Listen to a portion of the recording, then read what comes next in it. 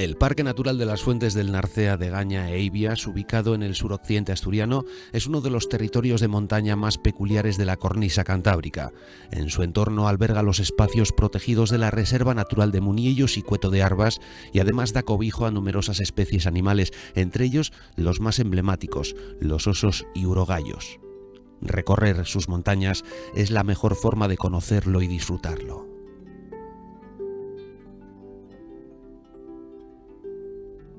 Empezamos nuestro recorrido en el pueblo de Parada la Vieja, situado en la zona oriental del Parque Natural de Fuentes del Narcea de Gaña e Ibias. Las brañas de Sunqueras y Tesedal son nuestros primeros destinos antes de ascender al Rabo de Asno. Por el camino que nos lleva a la braña de Sunqueras, disfrutaremos de los colores del bosque frondoso de ribera y en la parte alta, hayas, robles, sardón. Otoño puede ser una de las mejores épocas del año para disfrutar del colorido de esta estación. Nos acercamos a la braña de Sunqueras de la mano del río, pudiendo disfrutar de rincones únicos para fotografiar, como la cascada escondida a la derecha de la última cuesta, antes de llegar a la pradera más amplia de la braña.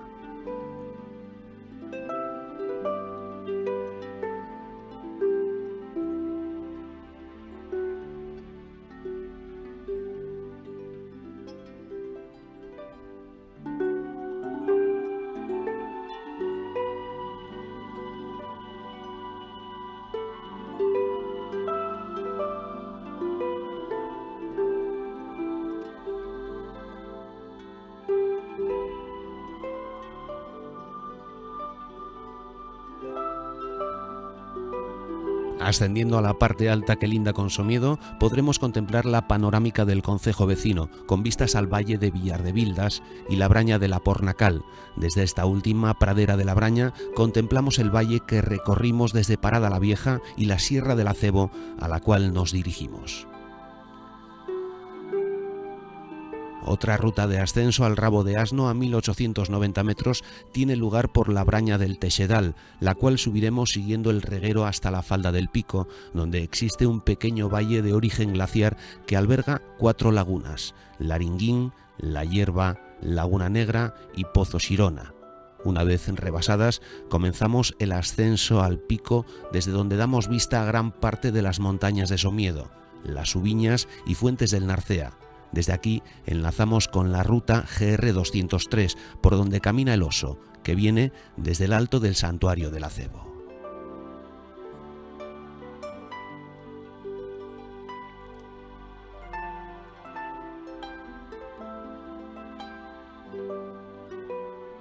Continuamos cresteando en dirección sur por el collado de la Gobia de Cibea, dejando a la izquierda el pico del mismo nombre a 1817 metros para llegar al Camín Real, desde aquí contemplamos el Valle de Genestoso y lo seguimos con dirección al Cabril, pasando por los picos El Corral, Peñarrubio y Fanarrionda.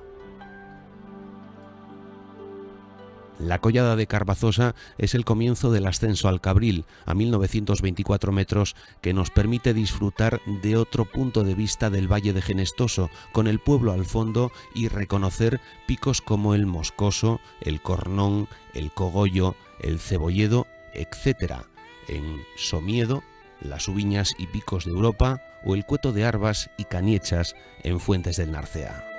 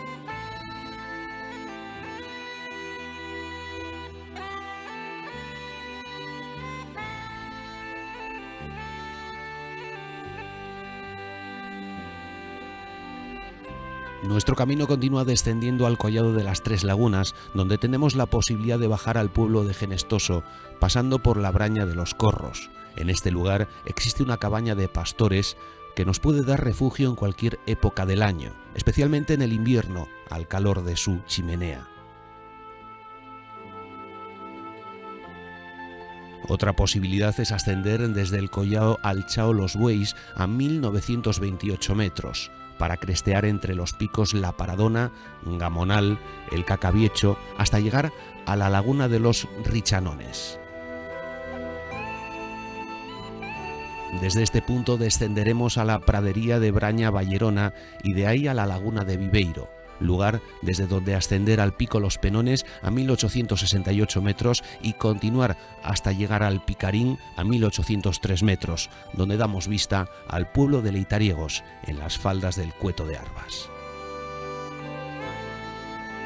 Leitariegos es uno de los pueblos más altos de Asturias. A medio kilómetro se encuentra la estación de esquí que lleva su mismo nombre. Desde el medio del pueblo arranca una senda que pasando por la laguna de Arbas la más grande del parque, nos lleva al techo de la comarca, el Cueto de Arbas, a 2.002 metros, un perfecto mirador bajo el que se extiende el Valle de Naviego al norte y al oeste nuestros próximos destinos, los picos El Piorno, Bustapiedra, El Fraile y los altos del Morteiro, a 1.907 metros. Desde el Cueto de Arbas podemos crestear en dirección oeste hasta Valdecuélebre, un camino más corto o directo, o descender a Brañas de arriba para, bordeando el Cueto de Arbas y pasando por encima de la braña de Villar de Arbas, llegar a la misma braña de Valdecuélebre. Esta segunda opción, aunque más larga, es también mucho más bella, pues en el ascenso cobra fuerza la protección que sobre nuestro caminar proyecta el Cueto de Arbas. Desde Valdecuélebre continuamos por el Alto de la Braña, pasando junto a la laguna en dirección a Laguna Seca, en la falda del Pico Piorno. A continuación nos encontramos con la parte alta del valle del pueblo de Corros, habitado hasta hace poco tiempo. Una senda nos conduce al collado entre los picos Bustapiedra y el Fraile a 1872 metros, desde donde damos vista al valle del Narcea. Toca ahora descender a la braña de Chauchina y seguir en dirección a la laguna y Alto de Roconco.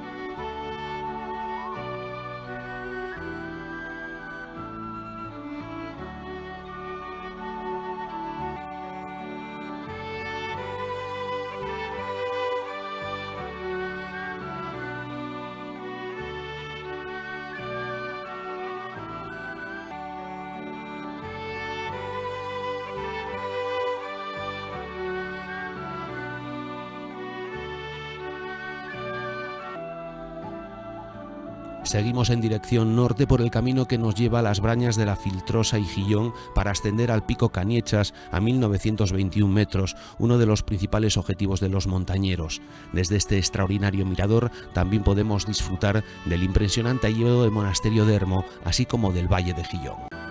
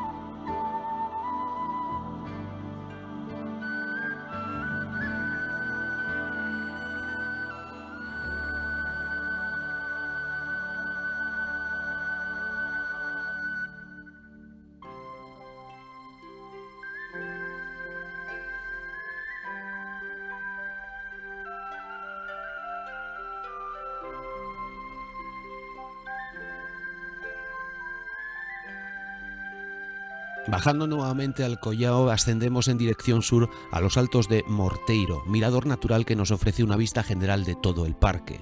Desde los picos ya recorridos, Rabo de Asno, Cabril, Cueto de Arbas y Fraile, hasta los que nos quedan por recorrer, los más cercanos, Cueto Roguero y Caniechas, y los del otro lado del Valle de Monasterio, Cuerno Changueiro, Bachongo, El Rubio, Peña el Cuervo, Chagunacho y Los Grayos.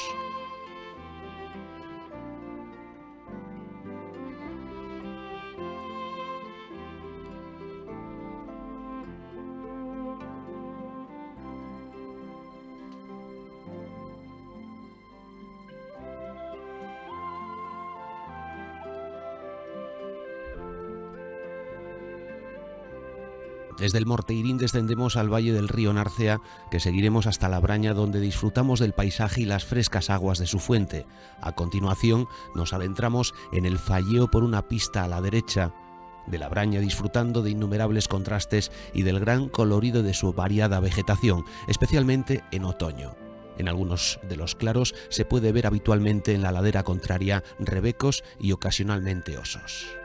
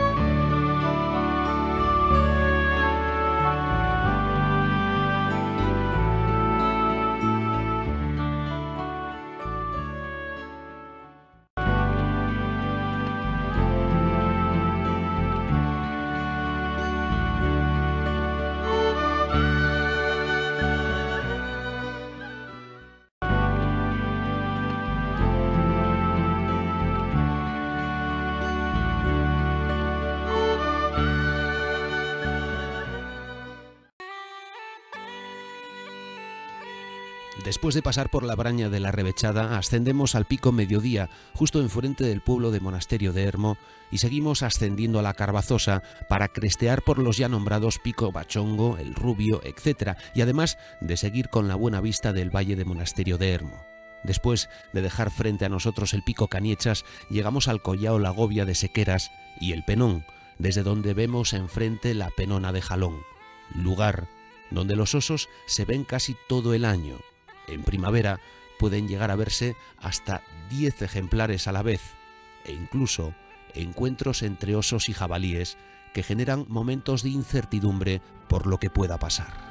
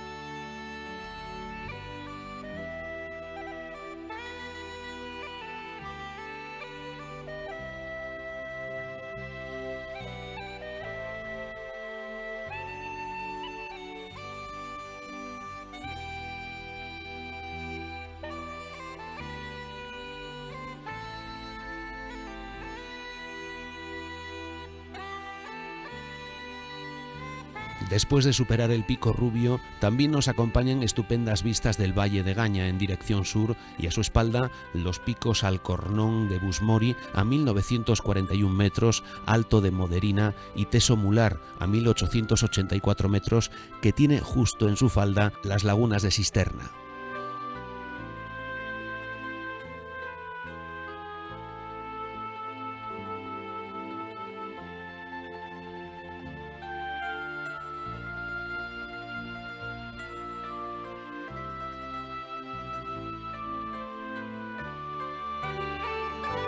Desde el Collao Lagovia de Sequeras descendemos a la Braña del Arón, con la posibilidad de bajar al pueblo y en los montes cercanos también poder ver con frecuencia osos. Una vez aquí, continuamos en dirección al puerto del Rañadoiro y los montes de Rengos hasta llegar al Pico Cabrón que da vista a Muñellos.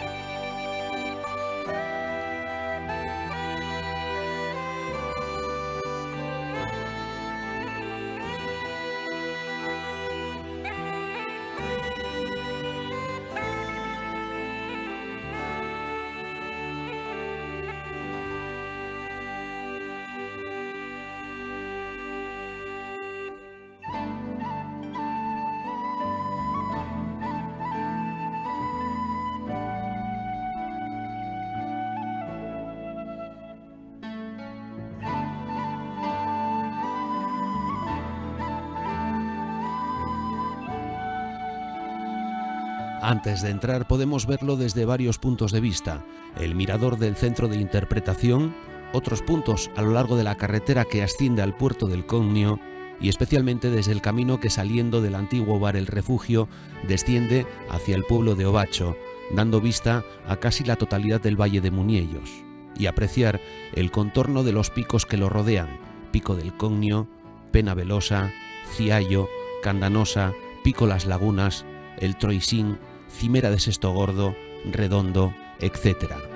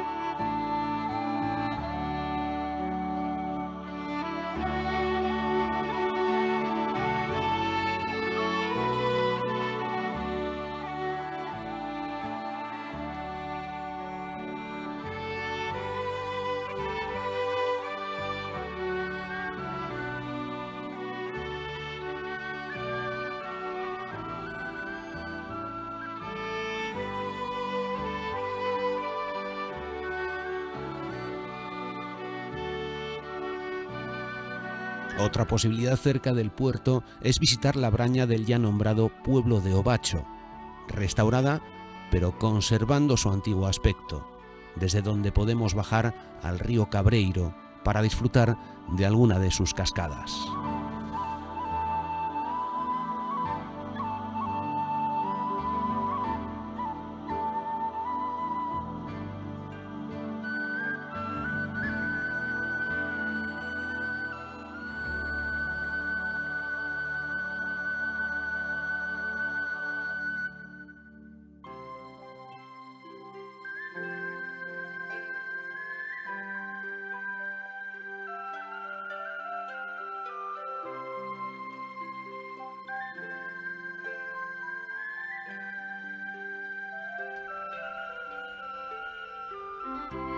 Muniellos es ante todo naturaleza, pero además es montaña, el bosque de robles más grande de España y uno de los mejor conservados de Europa.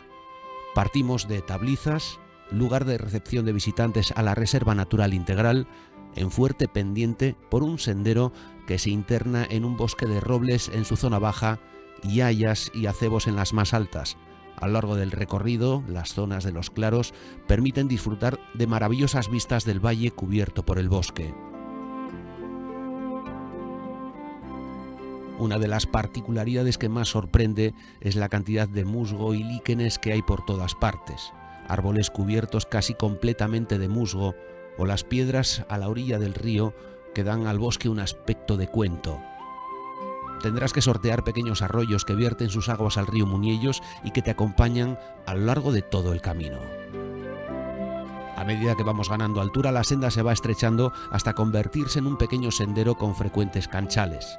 Una vez superados, las pendientes son mucho más moderadas, adaptándose a las vaguadas y ballinas de la Sierra del Cognio. El bosque se abre poco a poco, dejándonos mayor amplitud en las vistas que ganan espectacularidad hasta el lugar conocido como Sesturrapao. Desde aquí se avista por primera vez el circo glaciar donde se encuentran las lagunas.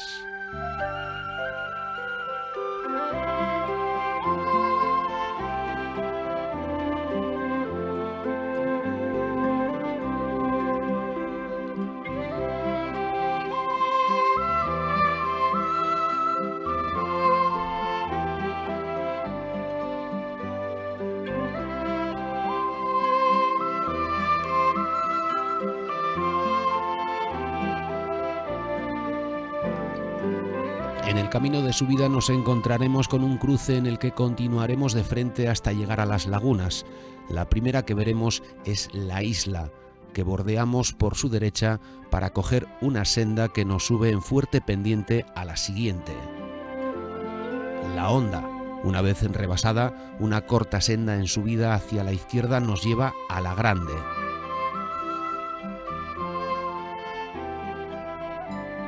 En la orilla opuesta podemos acceder a la última, la Peña.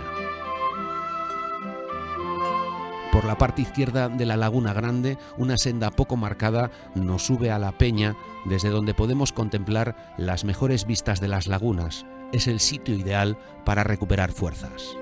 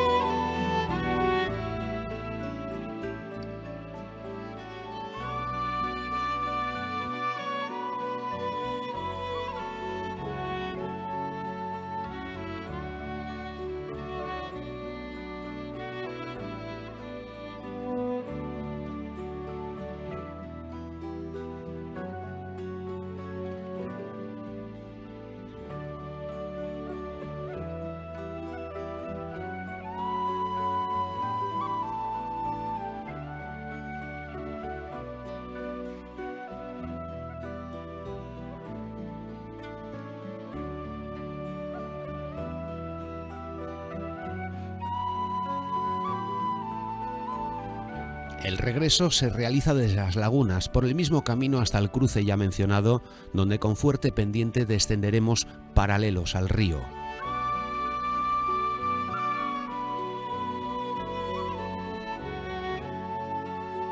A medida que perdemos altura, vamos dejando atrás el bosque de robles para ir ganando presencia el bosque de ribera por un camino de piedra suelta. El río, compañero constante en este tramo, nos aporta rincones para disfrutar, siendo el escenario perfecto para los amantes de la fotografía. La impresionante variedad de vegetación y la mezcla de robledal con otras especies de ribera forman fantásticas combinaciones de colores en otoño. Poco a poco la pendiente disminuye y el camino se convierte en una pista casi llana y que desemboca en una pasarela de madera que nos lleva al final del camino, de nuevo en tablizas.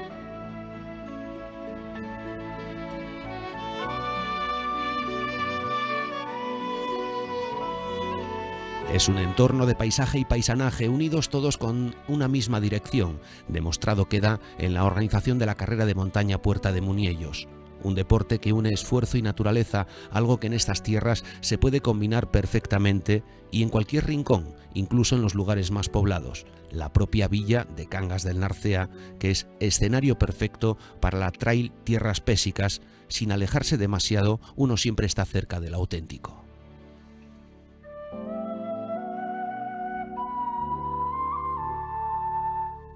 Un extenso recorrido por Fuentes del Narcea que forma parte de las experiencias que el grupo de montaña Piélago ha vivido a lo largo de sus más de 20 años de existencia y que esperamos os anime a visitar las montañas del Parque Natural de Fuentes del Narcea de Gaña Eivias.